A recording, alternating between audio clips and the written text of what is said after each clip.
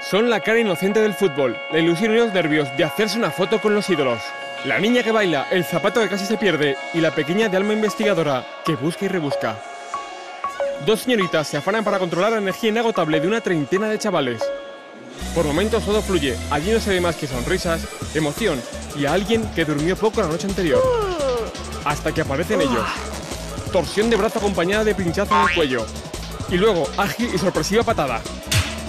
Una mano, dos cabezas y todo el rato riendo. Táctica de azafata.